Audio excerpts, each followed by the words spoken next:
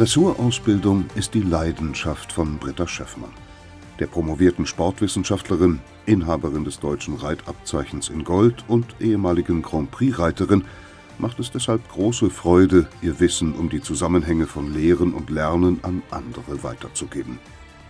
Dabei ist es ihr ein besonderes Anliegen, Dressurarbeit als Basis guten Reitens jedem Reiter für jedes Pferd ans Herz zu legen, ganz gleich auf welchem Ausbildungsniveau und für welche Pferderasse. Die Stellung spielt sich letztlich vorne im vorderen Bereich des Halses, also wirklich hier vorne ab. Und um ein Pferd zu stellen, drehe ich eigentlich nur ein kleines bisschen, so wunderbar, hat sofort gekaut, mein Handgelenk ein und plötzlich schießt der Zügel vor. Hat dann den Effekt, dass das arme Pferd für das, was es vorher richtig gemacht hat, dann mit so einem ganz kleinen Schlag das Gebiss auf die Lade bekommt, eigentlich bestraft wird. Viele Reiter neigen so ein bisschen dazu. Stellung mit einer rückwärts ziehenden Hand. Jetzt nimmt er zwar auch seinen Kopf nach innen, guckst, dass du deinen Schenkel wirklich aus der Hüfte raus ein bisschen nach hinten nimmst. Nicht einfach nur den Unterschenkel rückwärts und porkeln.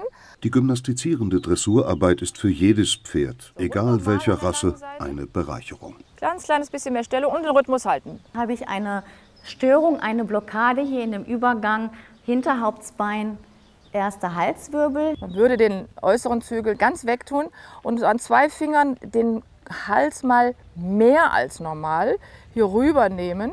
Das Prinzip Technik statt Kraft muss immer gelten. Pferde widersetzen sich nicht, weil sie nicht wollen, sondern weil sie nicht können.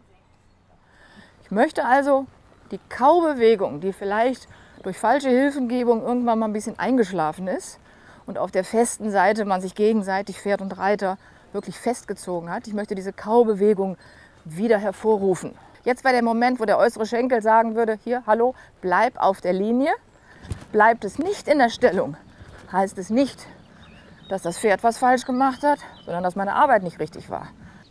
So, in der Hand versuch mal nur einzudrehen. Versuch erstmal mit den perfektesten klassischen Hilfen zu arbeiten. Wenn du den Kopf hier rüber nimmst, dann knickt die hier ab. Das wäre also falsch.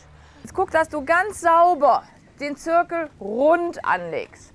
Denk daran, den reitest du nicht mit dem inneren Zügel. Und so reitest du deine Bögen. Immer wieder gucken, dass deine Schulterpartie mitdreht. Die über die Biegearbeit verbesserte Geschmeidigkeit, Tragkraft und Selbsthaltung sind auch Voraussetzung für weiterführende biegende Lektionen wie beispielsweise die Seitengänge.